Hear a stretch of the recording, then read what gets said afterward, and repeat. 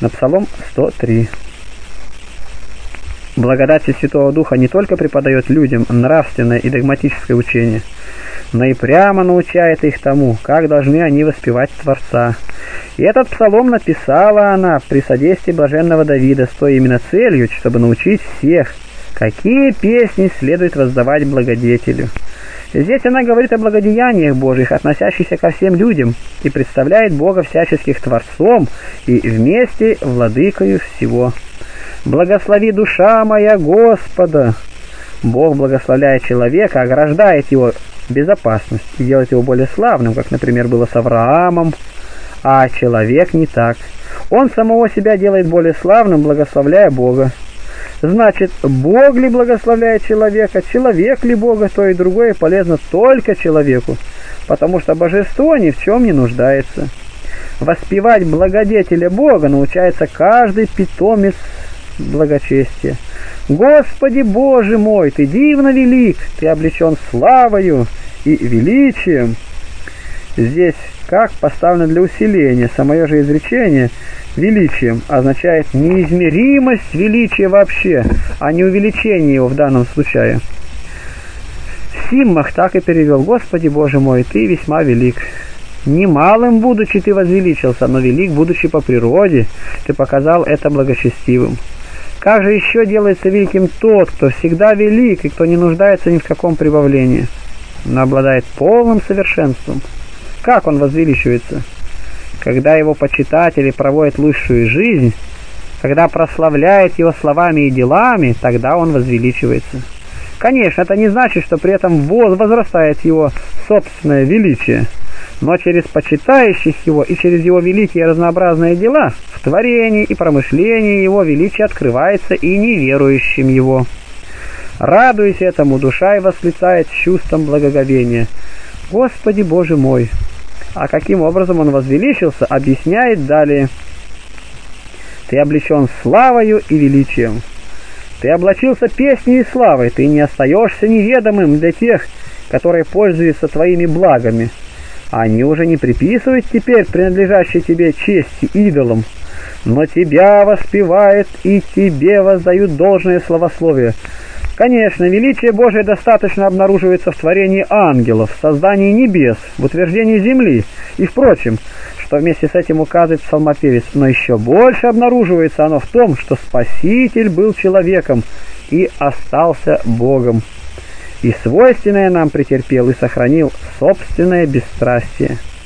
Поэтому, хотя в порядке событий дело спасения было позднейшим, Псалмопевец поставил его, однако, прежде всего ввиду его выдающегося значения. Исповеданием называет именно воплощение, так как во время плотской своей жизни Господь принес за нас исповедание Богу, возопив к Отцу. «Исповедайтесь Господу неба и земли, ибо Он утаил все от мудрых и разумных. Славлю Тебя, Боже!» А великолепие указывает на то, как велико и чрезмерно было то, что ему угодно было спасти нашу бренную природу. Однако, когда псалмопевец говорит, что он облегся в это исповедание и великолепие, то не имеет, конечно, в виду временного облачения, как будто потом он и разоблачился, а указывает на то, что, воплотившись, он не приложился в человека, но и Богом остается, и человеком делается. Ты одеваешься светом, как ризою, простираешь небеса, как шатер. Он одевается светом, как бы одеждою, как обладающий полнотой ведения, как имеющий непостижимое существо. Притом свет означает полнейшую истинность божественного ведения. По словам Павла, Бог во свете живет неприступным, живет во свете, значит, что он всецело есть ведение, превосходящее всякую мысль. Почему и свет – и назван неприступным. Ввиду этого-то апостол и говорит, «Единый, имеющий бессмертие во свете, живущий неприступным». Этот свет таков, что никто не осмеливается приблизиться к нему. Чрезмерность блеска поражает зрение. Ведь если видимое солнце принуждает к этому тех, кто пытается упорно смотреть на него, то у кого хватит сил для того, чтобы постигнуть мыслью этот неприступный свет – Итак, И сам он есть истинный свет и облачается светом, как одеждою, и во свете живет неприступным, и облако и мрак окрест его. Псалом 96.2. И он положил тьму, покров себе. Все это не противоречит одно другому. Псалом 17.12. Конечно, для тех, кто не может видеть неприступный свет, он то же самое, что мрак и тьма, потому что ни там, ни тут нет возможности рассмотреть, что содержится внутри. И то, и другое означает невидимость божественной природы. Впрочем, Иоанн Богослов, изображая и самое домостроительство его, назвал это домостроительство светом, говоря «И свет во тьме светит, и тьма не объяла его». Тьма облегает его как одежда, когда телесными слабостями он совершенно прикрывает силу божества. Например, когда чувствует голод, жажду, утомление и подобное тому претерпевает. Облекается же он светом, когда проявляет свое божество – запрещая морю, потрясая землю, омрачая солнце. Тогда он уже не позволяет божеству скрываться под человечеством, простирает небеса, как шатер 741. Это сравнение указывает на легкость творения. Как человеку легко растянуть кожу и сделать палатку, так Бог всяческих распростер великий свод небес одним словом. Устрояешь над водами горние чертоги твои, Делаешь облака твоею колесницей, шествуешь на крыльях ветра. Этому учит и блаженный Моисей. Он говорит, что Бог сказал, да будет твердь посреди воды, и отделяет воду, которая над твердью, от воды, которая под твердью. Полагает облака колесницей, ходит на крыльях ветра. Это указывает на его промышление, все обнимающее. Оно простирается и на ветры, и на облака. Бог сам управляет ими, сам указывает им сроки исполнения их назначения.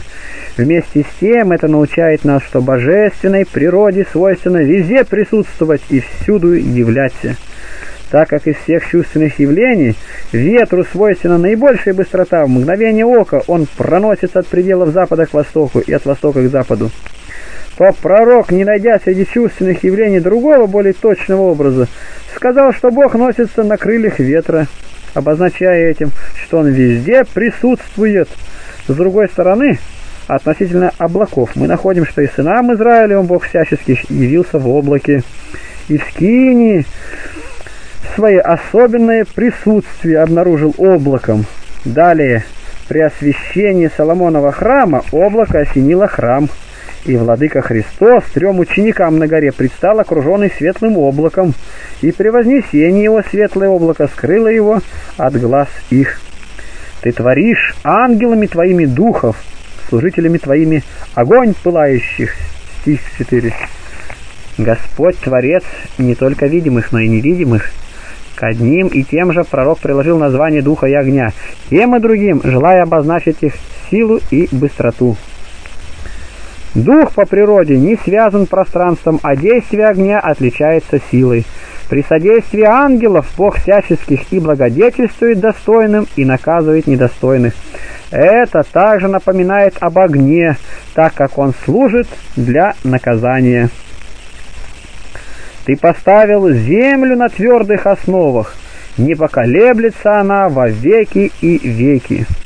Какая же твердь? О, пророк, там, где столько воды, где беспредельный океан, носящий землю на волнах своих. Ведь он и сам в другом месте подтверждал это утвердившему землю на водах. Так как это основание было не прочно, но весьма непостоянно, то Творец сообщил устойчивость самой земле. В чем же заключается эта устойчивость? В силе Создателя, ибо в руке его концы земли. Псалом 94.4. Землей называет человека. Кого он утверждает на основании веры, тот не уклонится век века, конечно, будущего, не преклонится век века. Сообщив ей самой к себе устойчивость в себе, Господь сделал землю неподвижной. В том же самом положении она пребывает, насколько ему угодно. Подобно этому в другом месте сказано, повесивший землю ни на чем, Иов 26.7. Бездной, как ризою, одевается. Стих 6. Он сказал его, а не ее.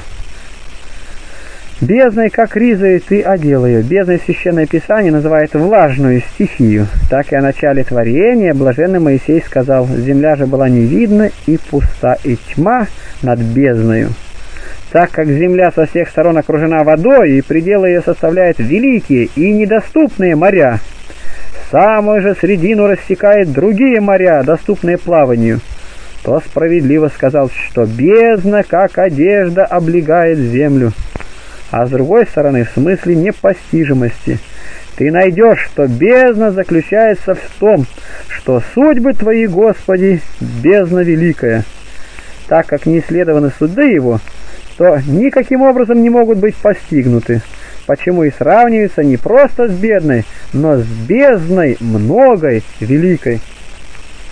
Итак, Бог, суды которого великая бездна покрывает непостижимость, именуемая бездна.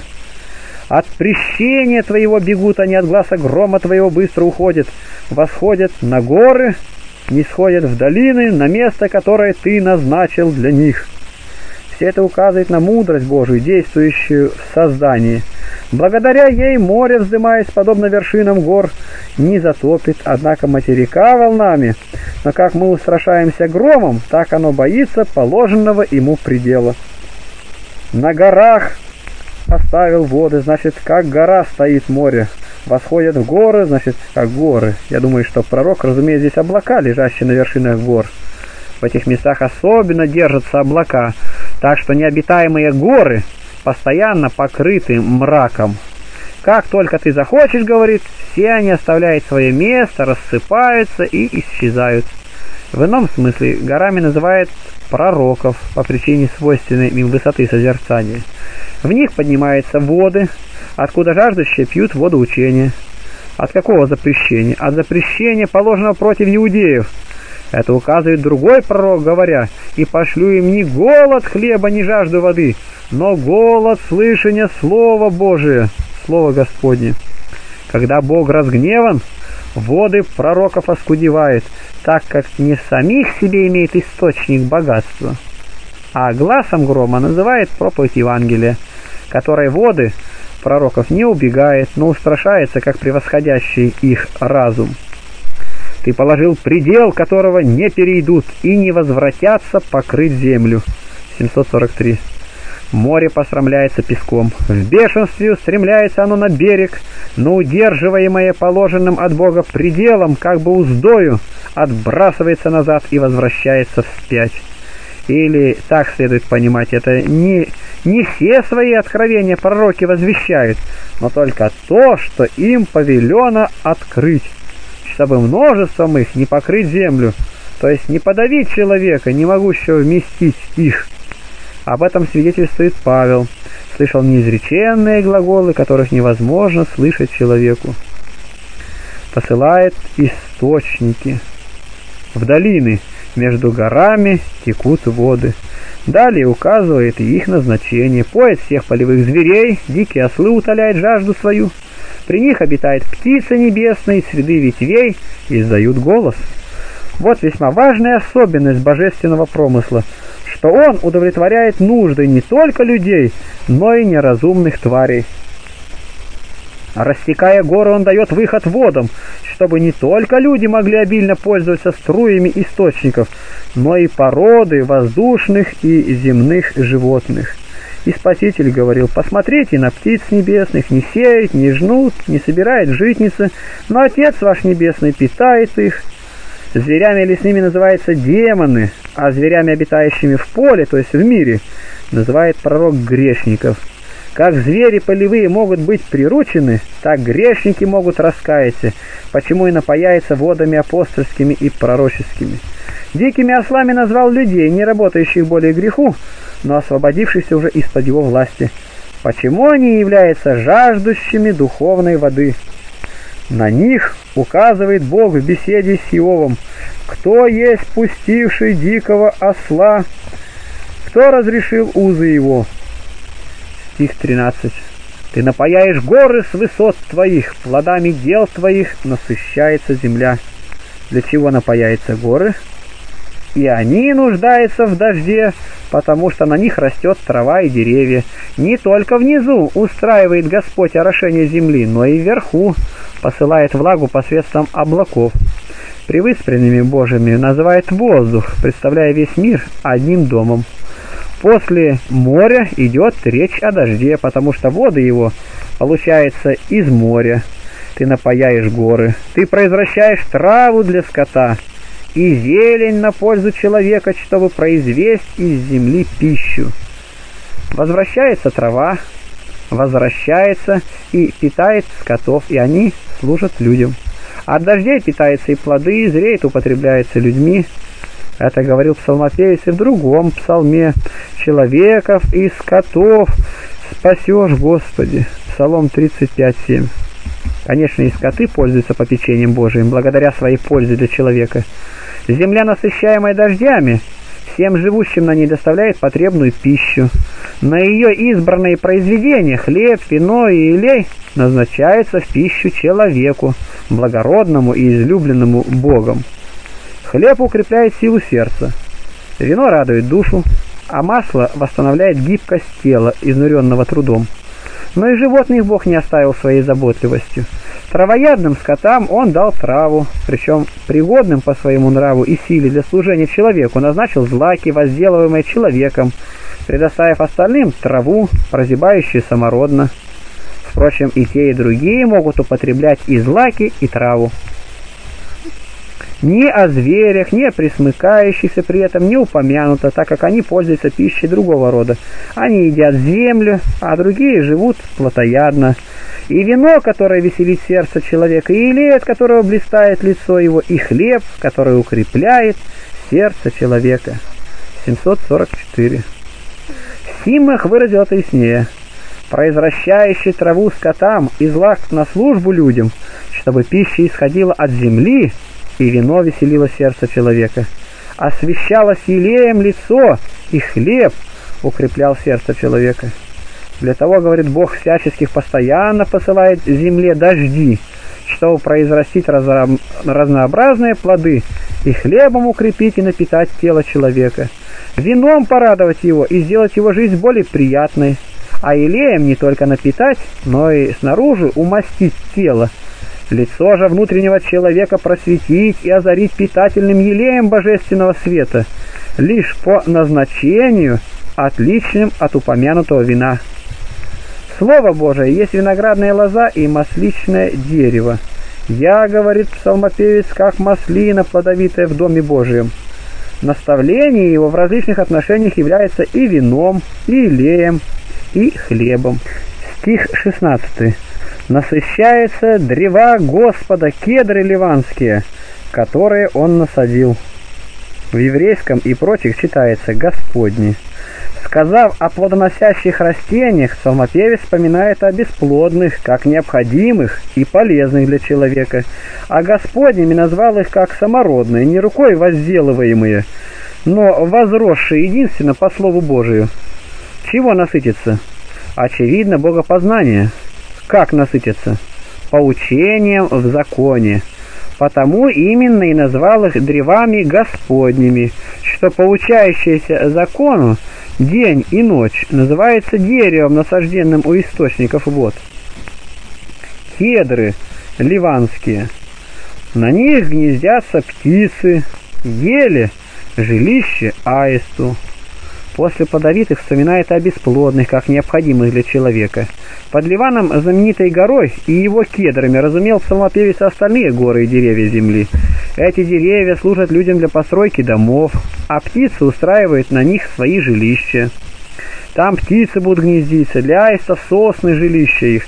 Некто из отцов сказал, аисту всякое место пригодно для жилья, и он всюду является как бы приготовленный для него дом. Это именно и значит слова «птицы гнездятся». Высокие горы серным. Птицами называют людей, преследуемых дьяволом и его слугами за благочестие, но могущих избежать его сетей. Они ядовиты, говорит, душа наша, как птица избавилась из сети ловящих. Что же касается аиста, то ты не ошибешься, если приложишь это название к Петру, так как он постоянно следовал за Христом как аист, говорят, не отстает от своих хозяев. Итак, он предводительствует птицами, то есть показывает им, как нужно избегать сетей ловцов, как и сам он, уловленный в сеть своим отречением, избежал ее своим покаянием. Высокие горны с серном, каменные утесы, убежище зайцем. Промысл, говорит, не оставляет без внимания даже малых животных, но оленям дал жилище на вершинах гор, а ничтожнейшим из животных – убежище в скалах. Итак, ничто не сотворено тобой, Боже, напрасно. В самом деле, не будь скал и вершин гор, слабейшие из животных на равнине легко делались бы добычей более сильных и скоро были бы истреблены, в особенности подвергаясь нападениям во время сна. Под скалами в Псалмопевец разумеет также пещеры и норы – в которых скрываются зайцы и ежи. Что касается оленей, то нужно заметить, что порода их враждебна породе змей. А таковы все ученики Христовы, имеющие власть над мысленными змеями. По слову Христа, «Все даю вам власть наступать на змеев и на скорпионов и на всю силу вражию».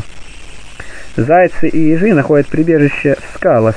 Зайцы и ежи считаются животными нечистыми и слабыми. Именно Моисей говорит верблюда, свиньи, зайца не ешь.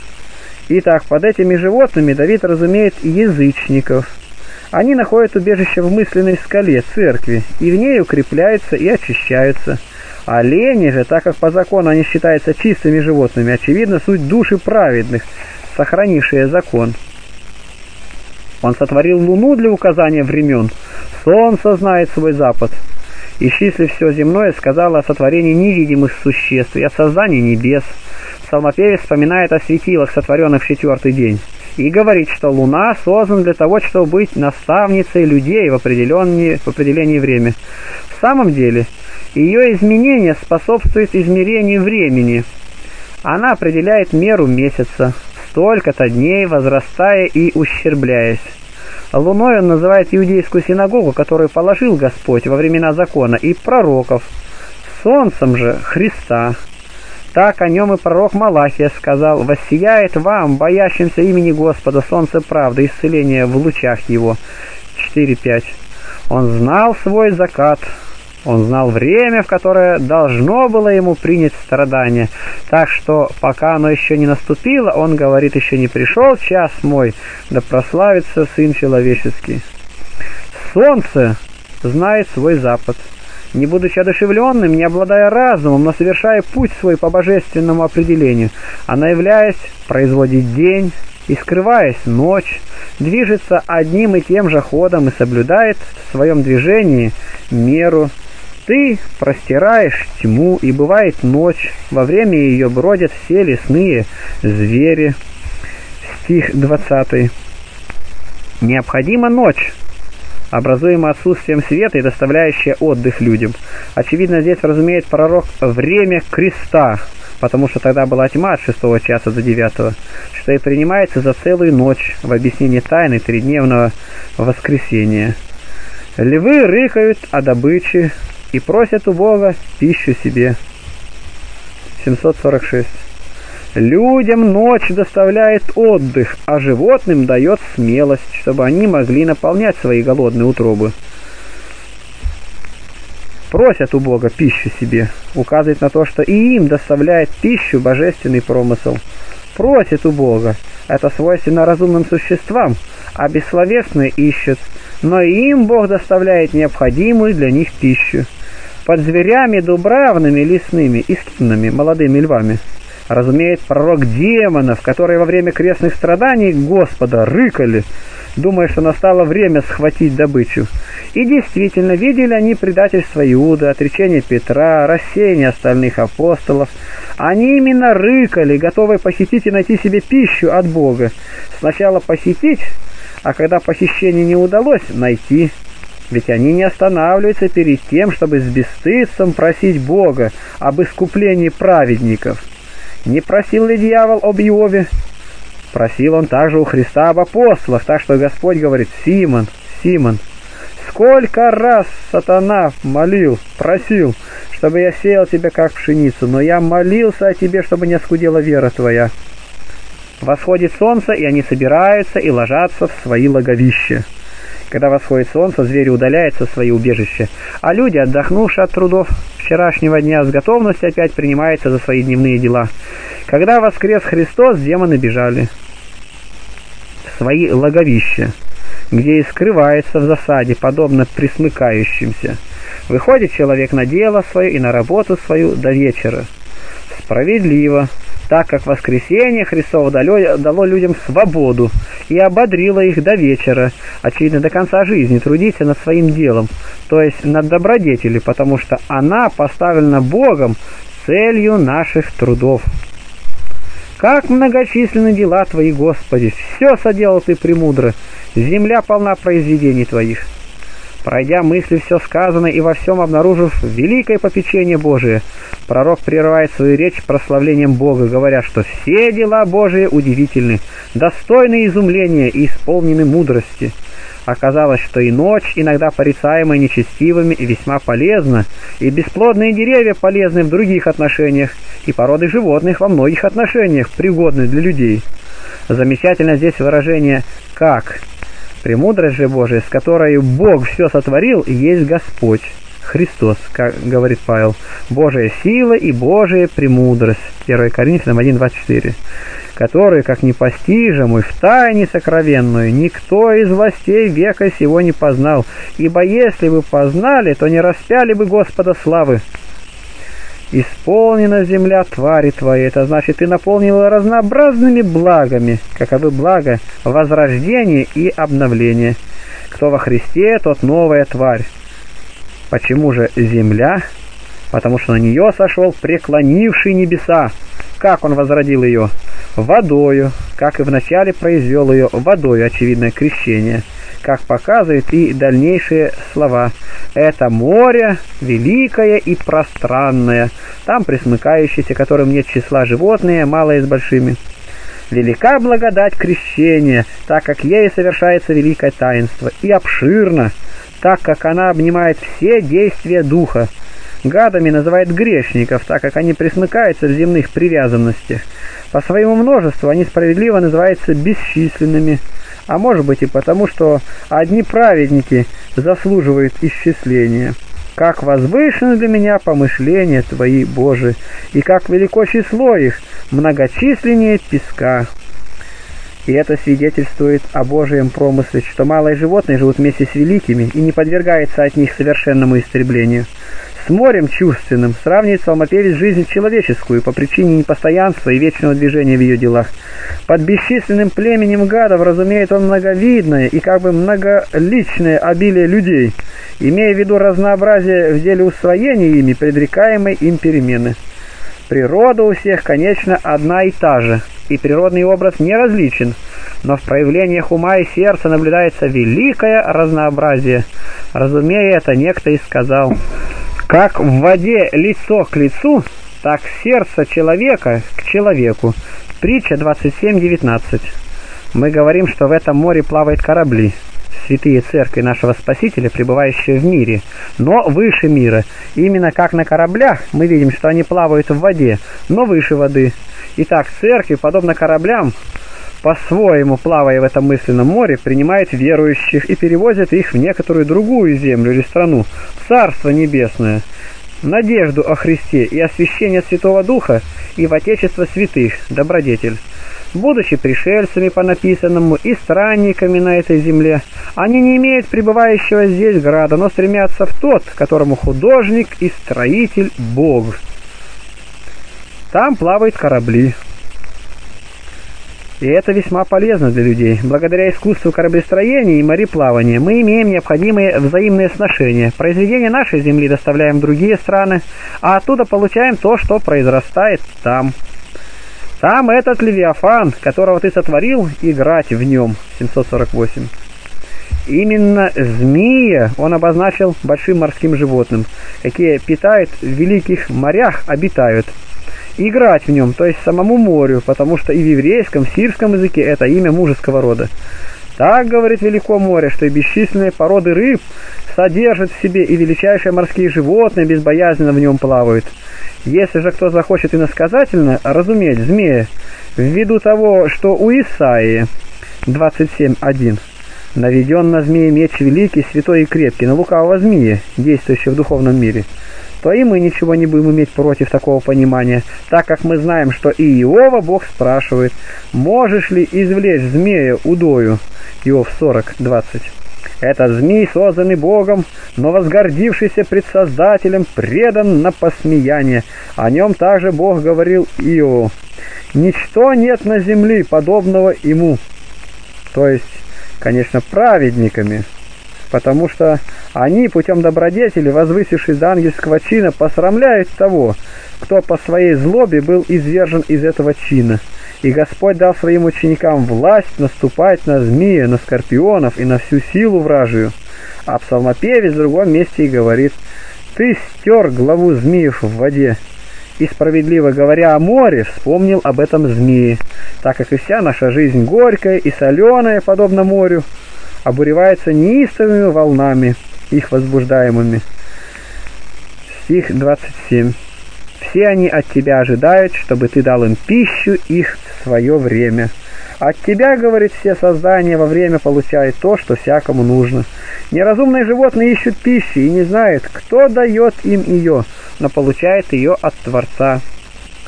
Даешь им, принимают, отверзаешь руку твою, насыщаются благом. Когда ты даешь обильно, каждый из них берет свою долю. Это показывает легкость, какой Творец дарует благо. Как легко выпрямить загнутые внутрь пальцы, так Богу легко даровать всякие блага. Раскрытие рук его нужно относить также к распростертии их на кресте, вследствие чего все исполнилось благости, то есть человеколюбие, так как всякий грех был искуплен крестом.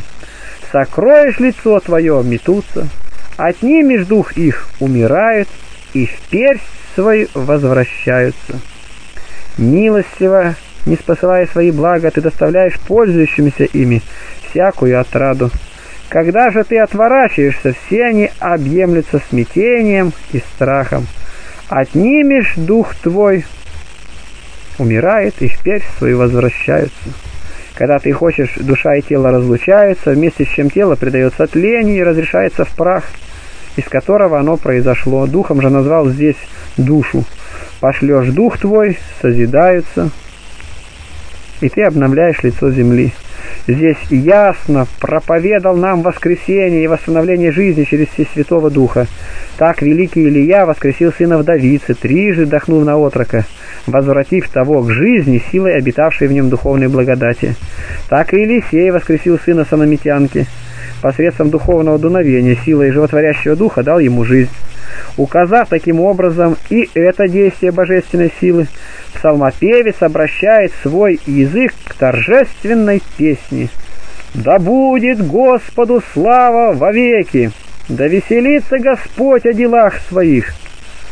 Справедливо говорит, чтобы он был всегда всеми воспеваем. Да веселится Господь о делах своих. Этим предрек будущее познание Бога людьми. Когда люди освободятся от прежнего обольщения и получат познание Бога, Бог будет радоваться не на их поклонение, но при виде их спасения. Презирает на землю, и она трясется, прикасается к горам и дымятся. Справедливо прибавил это показывать, что божественная природа ни в чем не нуждается. Не как нуждающийся он радуется, принимая поклонение, но как желающий спасти, указывает истину. И, будучи в состоянии наказать, не налагает наказание – хотя одним явлением своим потрясает землю и исполняет горы огня и дыма. Так было на горе Синайской. Явившись там, он всю гору облег дымом. «Буду петь Господу во всю жизнь мою, буду петь Богу моему, доколе есмь». И это сказано справедливо, потому что в смерти нет памятования о нем. В аде кто будет славить его? Псалом 6.6. Так заключилась дверь брачного чертога перед неразумными девами, покупавшими елей в то время, когда нужно было нести светильники. «Да будет благоприятна ему песнь моя, буду веселиться о Господе!» Беседой называет свою похвалу, воспевающий Бога беседует с ним. Если это исполнится, я буду радоваться. Да исчезнут грешники с земли и беззаконных, да не будет более. Благослови душа моя Господа. Аллилуйя. Поведав, насколько это доступно человеческой природе, божественную красоту и неизреченное богатство, он желает, чтобы познание их распространилось среди всех людей, и просит, чтобы общество грешников было совершенно уничтожено. Он не желает гибели им самим, но хочет, чтобы они раскаялись и чтобы прекратилось извращение и забвение с их стороны божественных законов. Если же кто хочет понимать эти слова иначе, как будто пророк подвергает проклятию живущих в нечестии, то и в таком смысле пророчество будет согласно с апостольским учением. В самом деле, великий Павел в послании к Коринфянам пишет, «Если кто не любит Господа Иисуса, да будет проклят». Это свойственно тем, кто горячо любит. Итак, все мы были во грехе, земля была полна беззакония. Когда же явилось единородное Божие Слово и сделалось человеком, грешники исчезли, остались лишь только виновные в беззакониях. Как и каким образом? Он оправдал всех и избавил от грехов. Разве только немного осталось грешников, многие же оправданы.